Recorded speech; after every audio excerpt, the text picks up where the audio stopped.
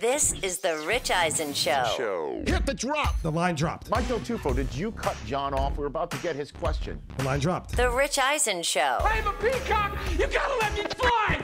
Is he still there? Do you ever sit around and say, "What the hell just happened"? I, I do wonder, you know, but but I, honestly, I I, I kind of go past that. I, I think about the good times, winning a championship, winning a Super Bowl. That's why we get into this business is to win championships. And you know, if uh, if my future brings another head coaching opportunity, um, you know, obviously that's it's gonna it's gonna make me uh, a better head coach in the future uh, because of what I've been through and, and what we've done. And, and you know, my heart is is set on becoming a, a head coach again, and, and that's that's going to be my focus. Would you mind singing "Happy Birthday" to Mike Del Tufo? Happy birthday to Mike. Happy birthday to Mike. Better than that, Mike. If I was on ESPN, I would say, Mike, you're like Rich Eisen. You're awesome, baby, with a capital A. You're like the 3S man. Cade Cunningham would be in the tournament. You're the 3S man. Super, scintillating, sensational. And most of all, baby, I would simply say you're a solid goal like Tom Brady, a PT pair, a prime time performer.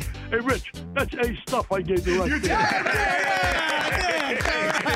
You were part of the UK office. You were playing the Jim role named Tim. Did you ever connect with Krasinski uh, on on the role? No, do you know what? I, d- I didn't. I've still never met John Krasinski. I, I, I think he's brilliant, you know, and I, and I got to really like the show after after feeling slightly resistant about the American one. Why? You know, someone just did a, you know a, a version of your show Yes. in Britain and called it something close to your name and said it's going to be like a better British version. My God, who the hell are you? What do you think? You know, but not for very long. And then when I watched it, I yeah, I went straight through it. It's a great show.